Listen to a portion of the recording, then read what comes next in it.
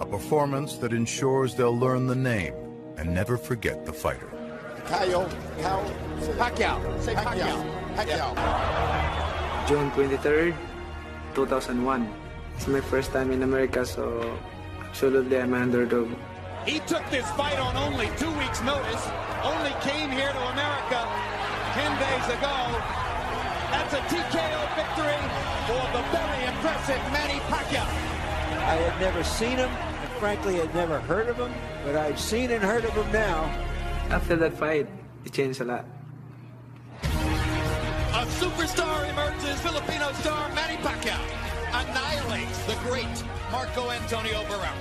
Manny Pacquiao has beaten Oscar De La Hoya, the most spectacular one-punch shot of Manny Pacquiao's incredible career.